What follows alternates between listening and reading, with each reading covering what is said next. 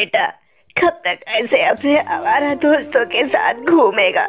पूरे एक साल हो गए तेरे पिताजी को इस दुनिया से गए। अब तक जैसे तैसे घर का घर चल गया। पर अब अब तो कुछ करना ही पड़ेगा।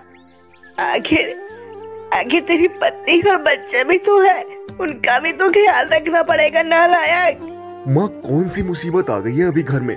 अरे, खाने को तो नहीं तरस रहे हैं ना। जब मुसीबत आएगी तब का तब देखेंगे।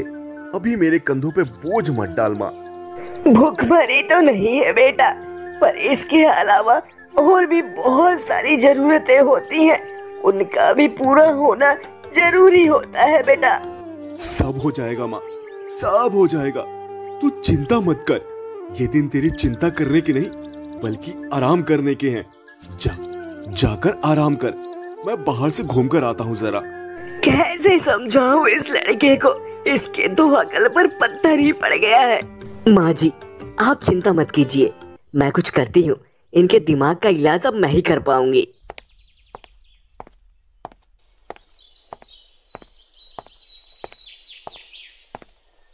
और भाई मदन कैसा है तू?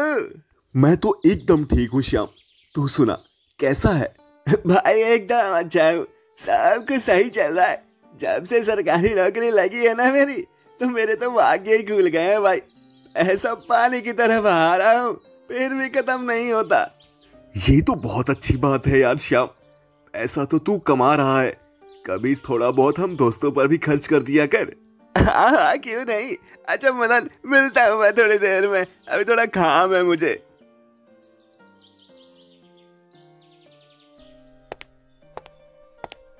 जब भी खर्च करने की बात आती है, ये तुरंत खिसक जाता है श्याम। पर बच्चों, एक दिन तुझसे खर्च करा के ही रहूँगा। देख लेना। बहुत समय हो गया है। अब भूख भी लग रही है। घर चलता हूँ। कुछ खाकर फिर निकलूँगा दूसरे गाँव की तरफ़।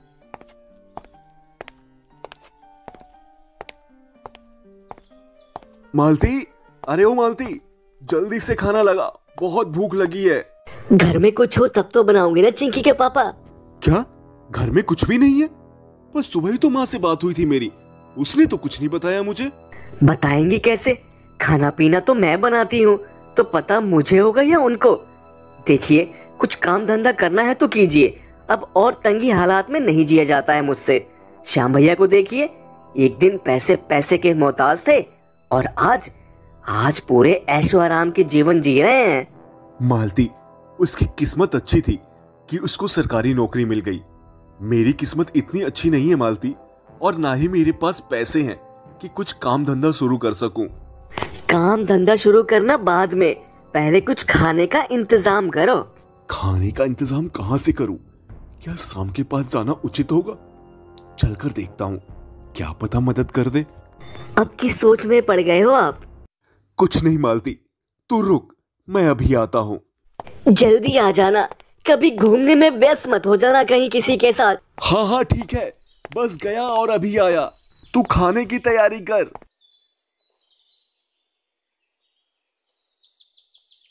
आज देखता हूँ, ये शाम मदद करता है या नहीं। आज पता चल जाएगा, ये बचपन का यार कितना साथ देता है। श्याम, अरे ओ श्याम भाई, कहाँ हो? हाँ भाई मदन बता कैसे आना हुआ मेरे घर की तरफ़? थोड़ी ज़रूरत आ पड़ी है श्याम। मेरे घर में चावल दाल आटा सब खत्म हो गया है। अगर थोड़ा चावल दाल दे देता तो मेरा काम चल जाता यार। मदन तेरे लिए एक दिन की बात तो है नहीं है। तू कुछ कमाता तो है नहीं। आज अगर तुझे मैं कुछ दे भी दूँ तो कल तू फिर आ जाएगा मांगने के लिए। आज तुझे दे देता हूँ पर कल मत आना भाई। मैं पहले ही बता देता हूँ तुझे यहाँ। ना ना श्याम रहने दे।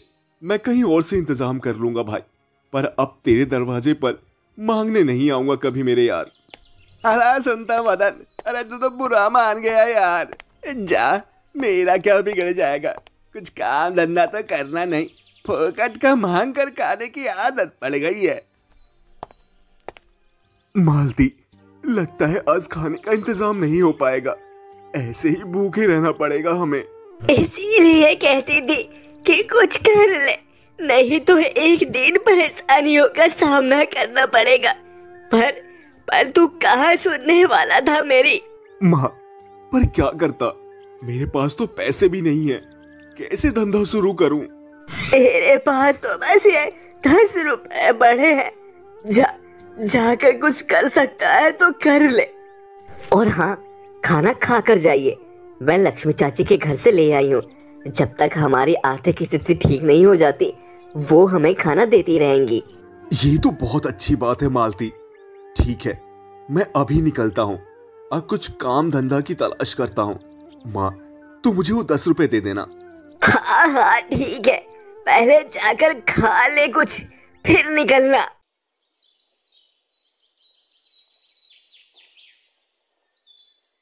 दस रुपए से कौन सा काम धंधा शुरू हो सकता है? कुछ ना कुछ तो करना ही पड़ेगा। ये ये औरत यहाँ अकेली क्यों बैठी है? चलकर इसी से पूछता हूँ। अरे भाई, यहाँ अकेले बैठकर क्या कर रही हो? ये बहुत ही सुनसान रास्ता है। यहाँ अकेले रहना ठीक नहीं है।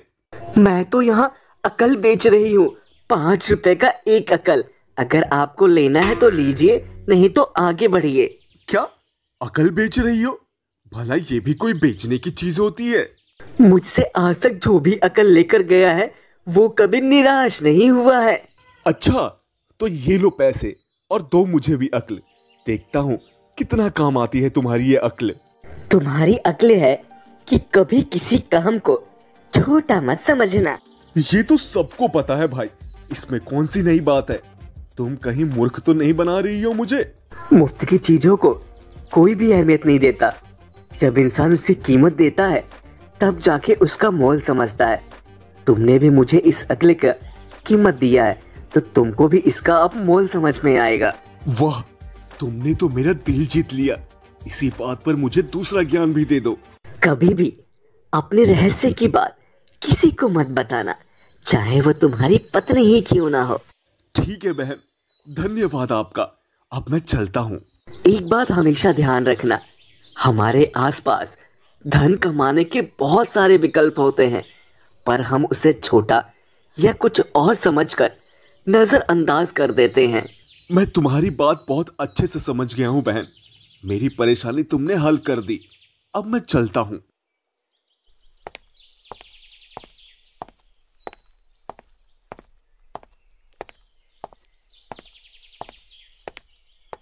अरे मदन मेरे खेत में काम करने के लिए एक मजदूर चाहिए। कोई हो तो भेज देना। कोई क्यों सेठ जी? मैं ही कर दूँगा अगर आप कहते हो तो। तू करेगा पर तू तो इन छोटे कामों से दूर भागता है ना। कोई भी काम छोटा या बड़ा नहीं होता सेठ जी। वाह मदन तूने तो मेरा दिल जीत लिया। कल से आ जाना काम पर। और हाँ मुझे अपने खेतों का काम बहुत ही जल्द खत्म करना है। तो समय पे आ जाना। मैं समय पर आ जाऊँगा सेठ जी। चलता हूँ।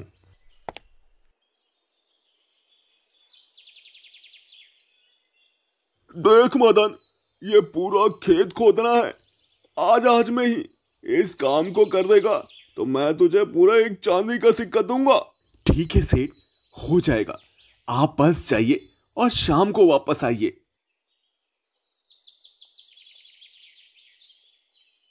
फटाफट से इस काम को निपटा देता हूँ। एक चांदी के सिक्के का सवाल है भाई।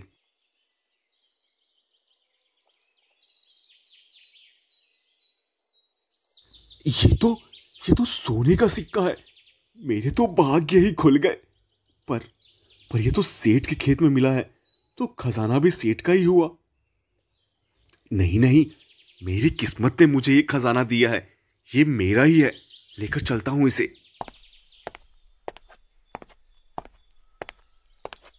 मालती मालती ये देख सोने के सिक्के। अब हमारे पास भी सब कुछ होगा। इतने सारे सोने के सिक्के कहाँ से ले आए आप? वो सब छोड़ बस अब अच्छे दिन के सपने पूरे हुए अपने। हमारे पास भी नया घर नए कपड़े नई गाड़ी सब कुछ होगा। मदन ने कुछ महीनों में ही नया घर बनवा लिया नई गाड़ी भी ले ली। ये देखकर उसकी पड़ोस वाली सुधा जलने लगी थी। क्या कर रही है सुधा? मैं तेरी तरह कोई अमीर थोड़ी ना हूँ। कुछ ना कुछ तो करना ही पड़ेगा जीवन जीने के लिए। हर किसी के भाग्य में भाग्य की कमाई थोड़ी ही होती है। मालती, वैसे तूने बताया नहीं कि मदन भाई साहब के पास अचानक से इतना धन कहाँ से आया? ये बात तो मैंने भी पूछी थी, पर उन्होंने बात को ही टाल दिया। भला ऐसी कौन सी बात है जो अपने पत्नी से भी नहीं बता सकते?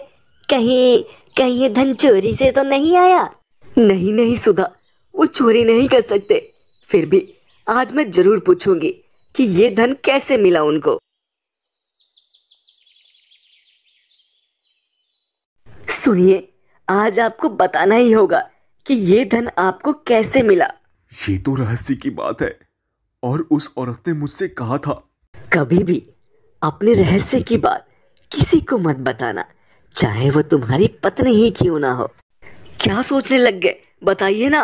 दरअसल मुझे ये सिक्के उत्तर दिशा में जो पेड़ मिला था वहीं बैठ के भगवान से प्रार्थना कर रहा था कि मुझे कुछ धन दे दे और तभी उस पेड़ से ये सोने के सिक्के गिरे और मैं उसे लेकर आ गया। बस इतनी ही सी बात थी। अच्छा तो ये बात है। आप मैं समझी कल सुबह मैं भी जाऊँगी और धन लेकर आऊँगी। हे भगवान, मुझे भी थोड़ा धन दे दो। बहुत तंगी चल रही है। हाय हाय हाय हाय, मेरा तो सिर ही फूट गया। ये ये पेड़ तो सिर फोड़ने वाला है। सुधा बहन, लालच बुरी भला होती है। कभी किसी के धन को देखकर लालच नहीं करना चाहिए। समझी? ये तो मैंने बस ऐसे ही बता दिया था। कभी भी कोई पेड़ किसी को धन नहीं देता। धन आता है अपनी किस्मत से या मेहनत से? आ, समझ गई मदन भाई साहब। अब मैं कभी ऐसा नहीं करूँगी। आप सब भी किसी के धन को देखकर लालच ना करें। अपनी कमाई पर भरोसा रखिए। और हाँ इस चैनल को सब्सक्राइब किए बिना मत जाइएगा। मैं जल्दी ही आपसे फिर मिलूँगी।